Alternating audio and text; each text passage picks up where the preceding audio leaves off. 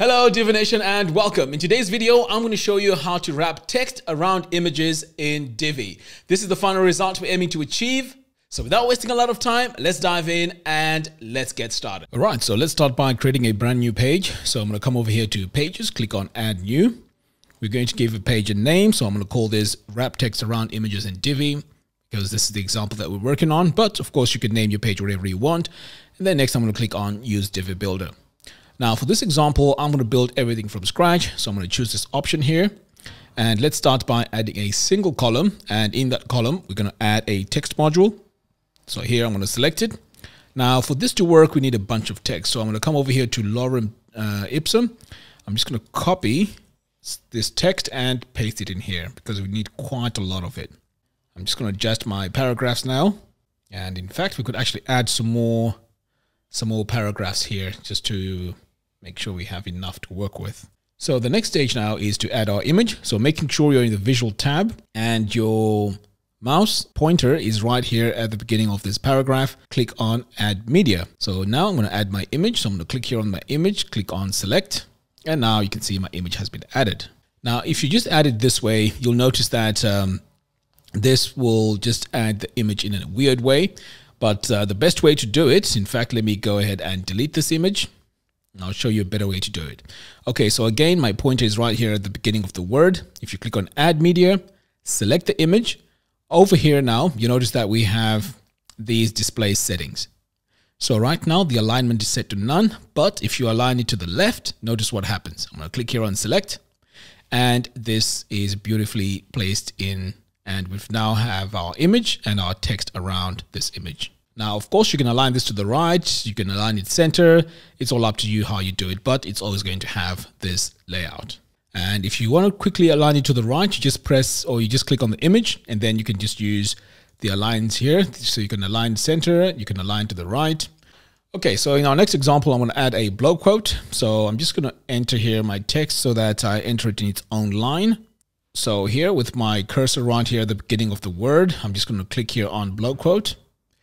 And as you can see, it comes in and it's not styled. Now to style it, all I have to do now is to come to design, text, and I'm going to choose this block quote. So this will specifically make customizations to the block quote itself here. So now I'm going to go and choose my uh, text. So let's use something different here. I'm going to use play fade display. So I'm going to change my size from 14 to 34. So it's nice and big. Now, if you want to add some inline styling, I have some CSS code that you can add. And this CSS code can be found on the post, which I'll link to in the show notes below. So to add it, all you have to do is to click here back here on content, text, and then I'm going to go to my text tab. And this is where you want to add your, your block quote. So I'm just going to enter here and add it. So as you can see here, we've actually added it here. So let me just get rid of the one that I added here on the top.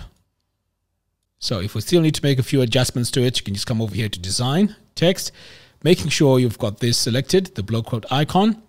We can then come over here to the line height and just make sure that it's in place. So 1.1 I think is fine.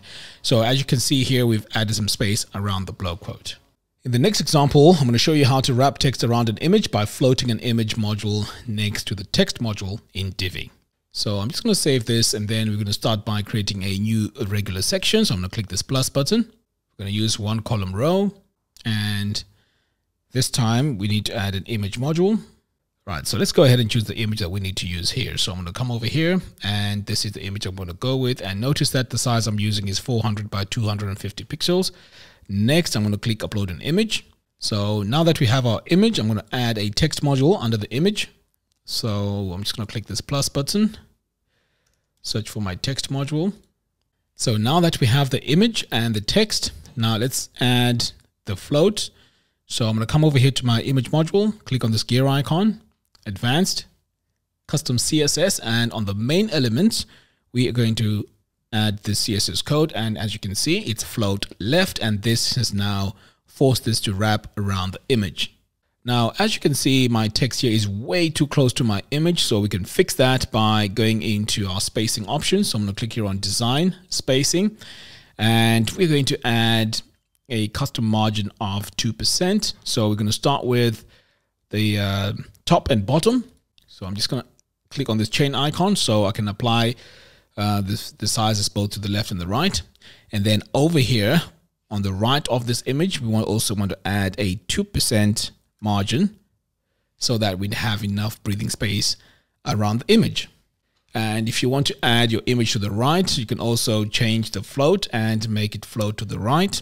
So let me show you how to do that. So back over here on advanced, custom CSS, and then instead of floating left, you can always float right. And as you can see, this has changed the positioning. Now you also need to come back over here and make sure in your spacing, you've, you have 2% to the left. So I'm just going to change this around. So now you have a bit of space here now on the left. Now you can also use the same technique on two columns. So let me just save this and show you how you could do that. So over here, I'm just going to split this and make it two columns. And I'm just going to duplicate this and drag one of them over here to the right. Okay, so I've set, in our next example, I've set these two columns. So let's add our image in these two columns. So this one here is going to be my first image. Click upload an image. So ideally, we need our image to be on the top. So I'm just going to save this and then drag it to the top. Now, as we did in our example, I'm going to float this to the left. So I'm going to click here on this gear icon, click on advanced custom CSS, and then we're going to float this to the left. So as you can see, this image here is way too big. So ideally, we want to go in and change the size. So let's go ahead and do that. So I'm going to come back over here on design, sizing. So on the max width, we want to make sure that this is set to 33.3%. Okay, so now you can see our image is not as big. And also we need to add our margins. So I'm just going to come back over here on spacing and we're going to add 2% here the right. And then we're going to also do the same for the top and the bottom. So for this to really look nice, what we'll need to do as well is to add a title to this. So let's go ahead and do that. So I'm just going to save this. And then let's say we want to add the top line here as the title. So I'm just going to enter a space and then we're going to give this a title. So this could be heading three. So I think that works better. So this could be maybe our services save that.